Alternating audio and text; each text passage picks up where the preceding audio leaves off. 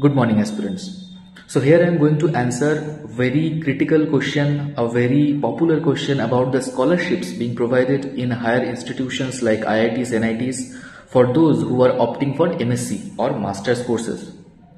Listen to me very carefully, watch the video till end so that you avoid those confusions while filling up the forms, official forms which are being provided while you are joining an IIT or NIT. So there are two types of fellowship, two type of not fellowship, it is in um, scholarships. So two type of scholarships are being provided uh, from IITs or NITs. First one is directly through IITs, that is merit cum means scholarships. Different IITs may have a different name of this scholarship, but that is basically merit cum means scholarship. This is first one and the amount of this is 1000 per month that means 12000 per year.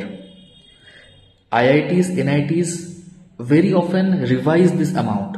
When I was in last semester there was a discussion in their panel in Senate panel that they are going to increase that. So it may increase, it will not decrease.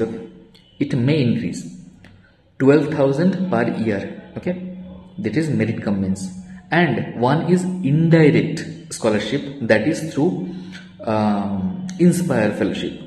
Many of you are a Inspire Fellow from your graduation level, right? So if you are getting, um, you know, Inspire Fellowship of 60,000 per month, then you can continue that fellowship. You will never get two fellowship, two scholarships simultaneously.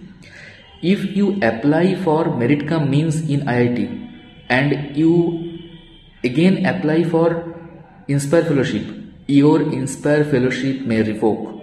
Okay listen to me very carefully. Because in inspire fellowship when you will again apply for that uh, scholarship in masters then there is a verification process. If you are already applying for merit cum means then the verification process will get hampered and you may revoke that um, inspire fellowship. If you are an inspire fellow if you want to have the inspire fellowship to be continued in masters then you have to you know you don't need to fill up the form regarding the scholarship when IIT will provide you. When you will join in IIT IIT will provide you some forms. In those forms there will be one form regarding the scholarship that you want to opt it or not.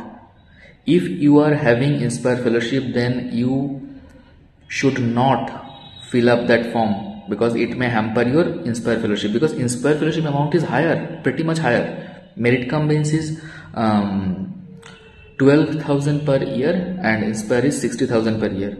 Right? So in msc in two years you will be getting 1 lakh 20000 and i have received that. That's why i know this. Okay? So these two type of scholarships are being provided.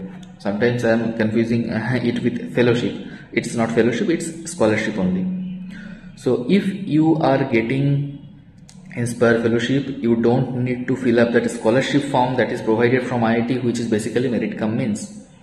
On the other hand, if you are applying for merit cum means, if you are not, if you are not Inspire Fellow, then you are, if you are applying for that merit cum means scholarship, there is an income criteria Till 2023, the income criteria in IIT Delhi was 4 LPA. As far I remember, it was 4 lakh per annum.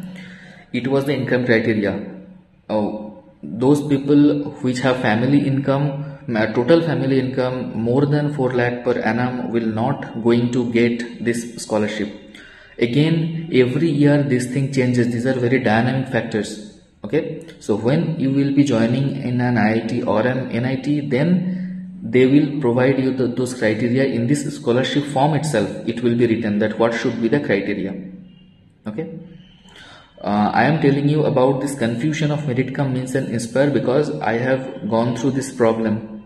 Okay? So finally I did not you know fill up the form of scholarship of merit cum means so that my inspire scholarship may continue. And it continued and I received 60,000 per year in two years of MSc course total 1 lakh 20,000 okay? So these two are scholarships being provided. Okay? I hope uh, your doubt has clarified. Thank you